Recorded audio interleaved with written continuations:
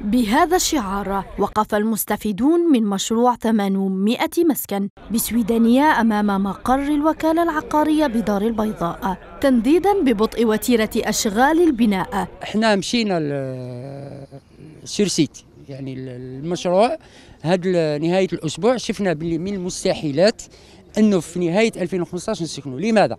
سبب بسيط وتيرة الإنجاز.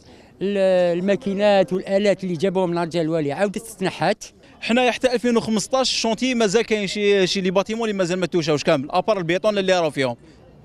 حنايا شحال مرة اللي نجيو لهنايا. عطاو لنا وعود. الوعود كل مرة يقول لك راه راح ال DG راه جا DG راح DG. حنا هذا ال détail علاش ندخلوا فيه؟ الوفاء بالوعود والإسراع في وتيرة الإنجاز هو مطلب ألح عليه هؤلاء. من 2009 لحد الآن رانا نستناو ما كان والو. غير كما جا الوالي زوخ.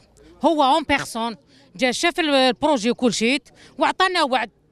قال لك قبل 2015 تسكنوا finalement ما كان والو. هذا فالآن إحنا نطلبوا باش يعطونا الوثائق القانونية تاعنا اللي هي les actes تاعنا كما وعدونا.